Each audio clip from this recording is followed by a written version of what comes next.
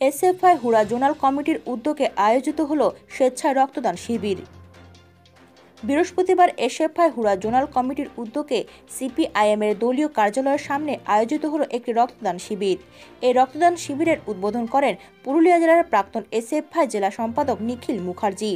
CPIM এর ছাত্র সংগঠন এসএফআই এর উদ্যোগে আয়োজিত এই রক্তদান শিবিরে মোট একুশ ইউনিট রক্ত সংগ্রহ করা হয়।